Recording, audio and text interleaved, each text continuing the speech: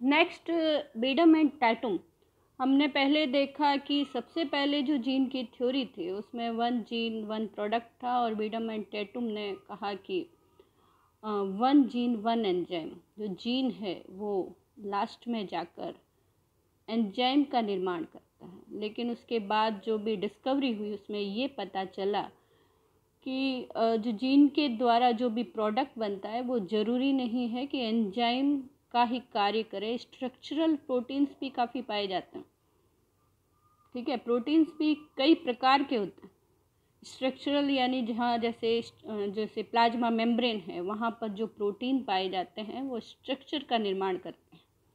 तो उनको structural protein कहा जाता है। वो प्रोटीन भी जीन से ही बने हैं। तो ये कोई ज़रूरी नहीं है कि जो जीन है, वो जाके एंजाइम का ही निर्माण करे।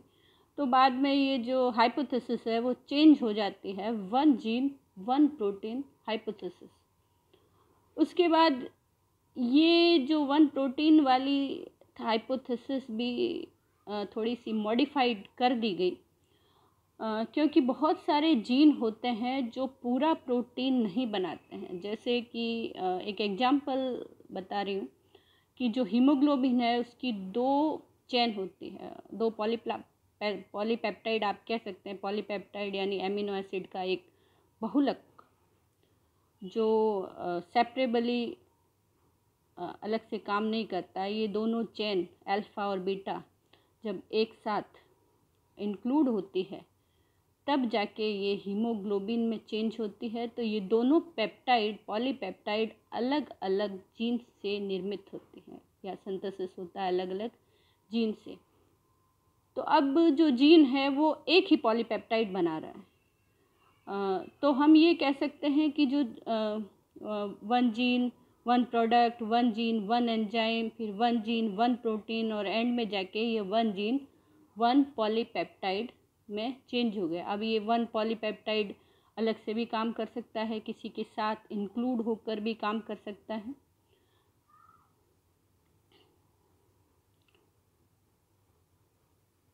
टीएच, मॉर्गन की जीन थ्योरी हम पढ़ चुके हैं और क्लासिकल जीन कंसेप्ट भी हमने पढ़ लिया लेकिन फिर भी आप डेफिनेशन देख लें। Gene is the unit of physiological function. Segregation of characters, mutation, gene can be define discrete particle inherited in Mendelian rules. And occupy definite locus on the chromosome and responsible for expression of specific phenotypic characters ये हिंदी में है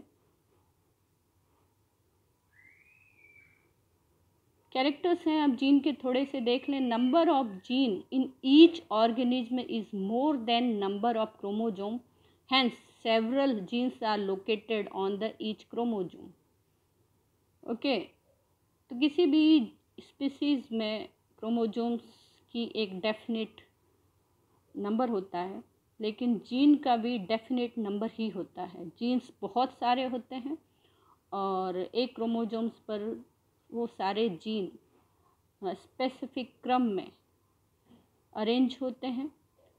और the gene are arrange in a single linear order like bead on string okay तो जैसे माला में मोती होते हैं, उस तरह से जीन एक पर्टिकुलर सीक्वेंस में पाए जाते हैं। Gene occupy a specific location called locus ये भी ध्यान रखें लोकस क्या होती है? जीन की पोजीशन होती है कि क्रोमोजोम में किस स्थान पर लोकेटेड है। लाइक एड्रेस जो हमारा जैसे एड्रेस होता है कि हम कॉलोनी में कौन से नंबर के होम में रहते हैं।